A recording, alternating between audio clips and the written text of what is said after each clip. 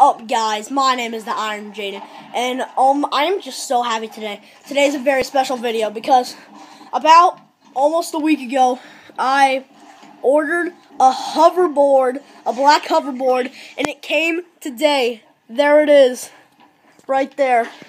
Oh my gosh, it's a beauty, isn't it? I would have done a video when I was unboxing it, but I was just way too hyped, and my phone was almost dead. But um, anyway. Um, I'm gonna be writing it in a lot of videos. I'm gonna start making videos a lot more, being on my hoverboard. But anyway, see you guys later.